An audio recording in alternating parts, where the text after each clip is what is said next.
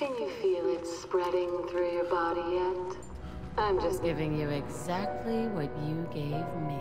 Simmons. At first, you'll be afraid. But don't worry. You're just becoming the monster you always were. You and everyone else on the planet. You and your family may have shaped the world into what it is today, but starting tomorrow, it's all going.